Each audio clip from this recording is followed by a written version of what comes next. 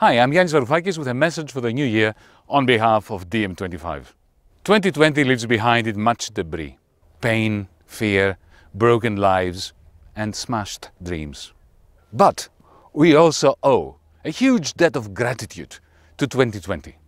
The hideous year that we're leaving behind has opened our eyes to seven fundamental secrets. We used to think of governments as powerless. But since COVID-19 struck, we know better, don't we? Governments have stupendous powers that choose not to use, deferring to the exorbitant power of big business. Yes, the money tree does exist after all, except of course that it is harvested by the powerful on behalf of the oligarchy. Money created off the rich, by the rich, for the rich.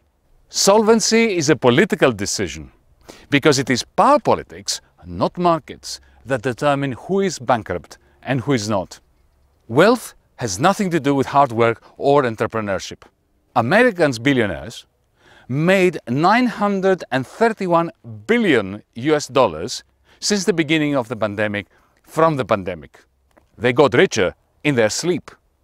Yes, 2020 was a vintage year for capitalists, but capitalism died. Liberated from any meaningful competition, colossal platform companies like Amazon ended up owning everything. So yes, during 2020, capitalism morphed into something I call techno-feudalism. Our Europe, its immense civilization and power notwithstanding, during 2020 continued to sell its soul. One word suffices, Moria, the prison camp in Lesbos for refugees. Yes, it has been a difficult year. We lost too many people to the pandemic. We saw exploitation flourish, driving so many into the arms of destitution. Civil liberties took a major hit. But despite it all, and all things considered, 2020 let us in on a magnificent, hope-inspiring seventh secret. That everything could be different. If this pandemic proved anything, it proved that Bertolt Brecht was correct when he once said that because things are the way they are, they cannot remain the way they are.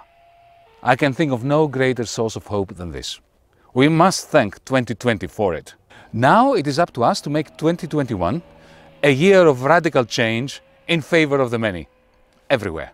Happy New Year and Carpe Diem.